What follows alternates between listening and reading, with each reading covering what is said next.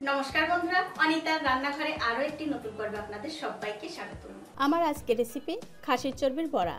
তো খাসির চর্বি বড়া বানানোর জন্য একটা পাত্রের মধ্যে নিয়ে নিচ্ছি পেঁয়াজ কুচি, কাঁচা লঙ্কা কুচি, স্বাদ অনুযায়ী লবণ, লঙ্কার গুঁড়ো, হলুদের গুঁড়ো, জিরার গুঁড়ো,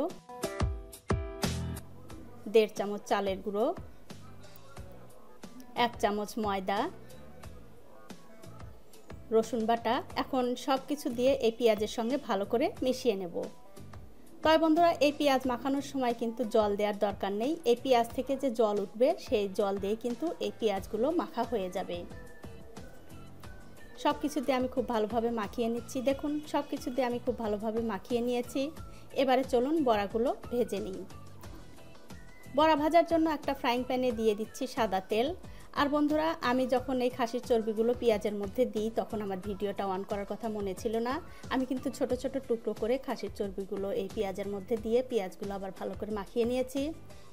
তেলটা যখন ভালো করে গরম হয়ে যাবে, তখন এখান থেকে এরকম পেঁয়াজ আর খাসির চর্বি দিয়ে মাখা যে মিশ্রণটা, সেটা বড়া ভাজার মতো করে এরকম করে ছোট ছোট করে দিয়ে দিতে হবে।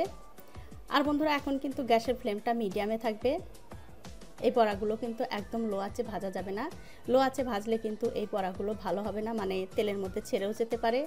যখন দেখবেন এক দিকটা হয়ে গেছে, তখন এরকম করে অন্য দিকটা উল্টে দিতে হবে। আর বন্ধুরা, যদিও দেখেন যে বড়াগুলো তেলের মধ্যে ছেড়ে ছেড়ে যাচ্ছে, তখন কিন্তু আরও একটু চালের গুঁড়ো কিংবা ময়দা দিয়ে এই পেঁয়াজগুলো মাখিয়ে নেবেন, তাহলে আর এই বড়াগুলো তেলের মধ্যে ছেড়ে ছেড়ে যাবে না। দেখুন, আমি কিন্তু খুব আস্তে আস্তে এই বড়াগুলো তেলের মধ্যে উল্টে দিচ্ছি। আর এরকম করে উল্টে পাল্টেই এই বড়াগুলো ভেজে নেব। দেখুন, বড়াগুলো কিন্তু আমি খুব ভালোভাবে উল্টে পাল্টে ভেজে নিয়েছি। এগুলো হয়ে গেছে, এগুলো আমি তুলে নিচ্ছি। আর এই একই রকমভাবে আমি সবগুলো বড়াই ভেজে নেব।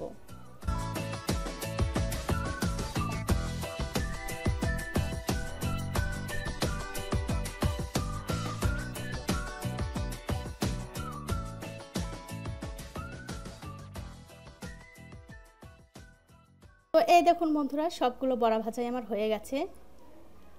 দেখুন কত সুন্দর হয়েছে। ভেতরটা কিন্তু একদম চর্বি দিয়ে ভরা আর উপরটা মুচমুচে।